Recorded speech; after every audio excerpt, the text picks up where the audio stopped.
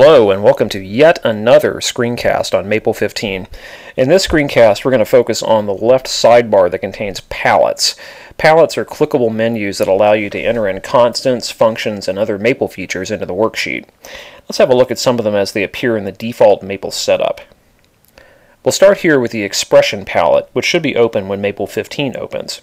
Here you can see a number of math expressions that can be entered, integrals, sums, derivatives, limits, basic math, math functions, and more. To see how these work, let's have Maple compute a simple indefinite integral, the integral of cosine of 2x. Click on the expression in the palette. Notice Maple has entered in an integral with some blanks for you to put in the specifics. Let's type cosine of 2x for the integrand, and then hit tab to go to the differential.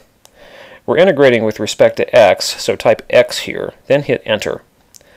Maple computes the antiderivative correctly. To make that a definite integral, click the definite integral expression. Maple inserts a definite integral form and prompts you to enter in the details. Let's integrate cosine 2x from 0 to pi over 4. Type 0 for the lower limit, then tab, then capital P, lowercase i, slash 4, and then tab, cosine of 2x, then tab, then finally X and hit enter. Most other Maple expressions entered from the palette work the same way. Click on the expression, enter in the details, and use the Tab key to cycle between the blanks. You can also click on the blanks to edit what you entered. Further down the palette, we see expressions for functions. Here's another way to enter e to the x, for instance. If I wanted e to the fourth, I could click on the e to the x expression, and then type in a 4 to the blank and hit enter. You should spend time playing around with these expressions to see how they work. We'll pay particular attention to those expressions for defining mathematical functions in a later screencast. Another palette that's open is the Common Symbols palette. Here, you can enter in mathematical constants like e and pi. Infinity is also here, as are some symbols for comparisons, sets, and other operations. Sometimes you might want to use Greek letters for variables. If so, then you can enter Greek alphabetical symbols from the Greek template.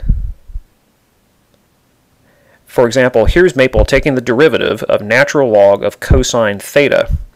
From the expression palette, choose the derivative expression.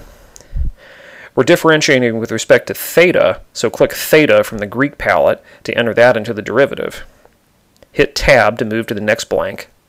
Then type ln parenthesis cosine parenthesis click theta from the Greek palette, close the parentheses, and hit enter. There are several other palettes available for you to use. One more that may be useful is the handwriting palette near the top.